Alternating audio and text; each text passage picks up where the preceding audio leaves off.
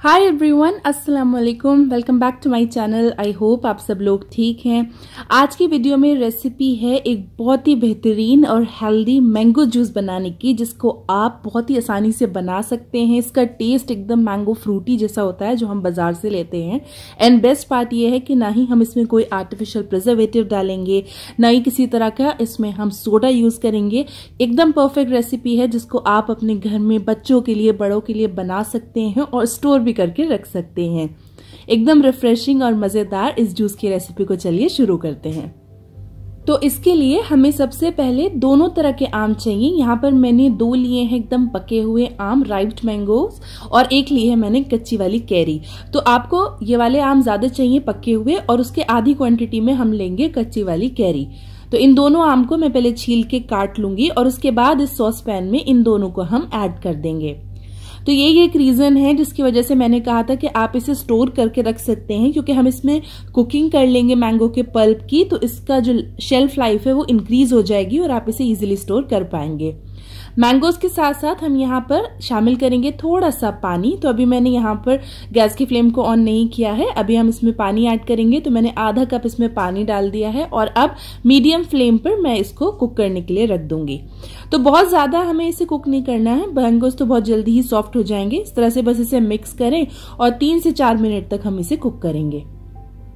तो मैंगोज अब तीन से चार मिनट तक कुक हो चुके हैं तो हम अब इसमें शामिल करेंगे आधा कप चीनी। तो देखिए, जो मैंने राइट मैंगोज लिए थे, वो काफ़ी मीठे थे तो मेरे लिए आधा कप चीनी बहुत है, लेकिन ये चीज़ आप अपने टेस्ट के अकॉर्डिंग और जिस तरह के आम यूज़ कर रहे हैं, उसके अकॉर्डिंग एडजस्ट कर दीजिएगा। और अब हम इसे मीडियम फ्लेम पर ढककर पकाएँगे पाँच मिनट के लिए। और ये देखिए, पाँच मिनट के बाद हमारे ये अच्छे से पक रहा है इस पॉइंट पे। अब मैं इसकी लिट को हटा दूँगी और अब हम इसको थोड़ा सा चेक कर लेंगे। ये देखिए एकदम बेहतरीन तरीके से ये हमारे जो मैंगोज हैं ये सॉफ्ट हो गए हैं बिल्कुल आसानी से टूट रहा है। और इसका जो, पानी है इसमें भी इसका पल्प बहुत अच्छे से आ गया है तो इस पॉइंट पर मैं गैस की फ्लेम को बंद करूँगी और अब हम इसे इस तरह से स्ट्रेन कर लेंगे। और ये जो जूस मैं अलग रख रही हूँ इसे डिस्कार्ड नहीं करना है इसको हम बाद में यूज़ करेंगे। इस तरह से स्ट्रेन करने का मकसद ये है कि हमें जो मैंगो के पीसीज हैं पके हुए ये मिल जाए जिसको हम ठंडा करके ब्लेंड कर लेंगे। तो देखिए, यहाँ पर ये ठंडे हो चुके हैं तो अब बस सिंपली मैं इसे एक अपनी ग्राइंडिंग जार में डाल के ब्लेंड कर लूँगी और देखिए, ये इस तरह से एकदम स्मूथ इसका पल्प रेडी हो जाएगा। ये देखिए, कितना खूबसूरत कलर है और एकदम स्मूथ ये पल्प रेडी है। अब जो हमने इसका वाटर बचा के रखा हुआ था, वो भी ठंडा हो चुका है तो इसमें अब हम इस पल्प को ऐड कर देंगे, जिसको हमने पीसा है।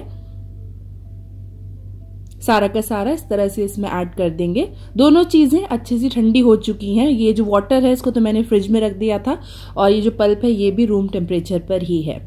सारा इसमें ऐड करने के बाद अब आपको एक इस तरह से विस्क या किसी स्पून की हेल्प से इसे बहुत अच्छे से ऐसे मिक्स करना है ताकि एकदम स्मूथ हो जाए और एक सार हो जाए।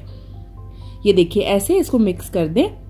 फिर भी इस पॉइंट पे आप इसकी शुगर को चेक कर लीजिएगा। अगर आपको लगे कि कम है तो आप इसमें थोड़ा सा पाउडर्ड शुगर या शुगर सिरप ऐड कर सकते हैं। वो इसमें इजीली मिक्स हो जाएगा। तो इस तरह देखिए, ये चीज़ ज़रूर कीजिएगा। इससे इसकी कंसिस्टेंसी अच्छी होगी और इसका टेक्सचर बहुत स्मूथ होगा, जैसे कि अभी आप देख रहे हैं।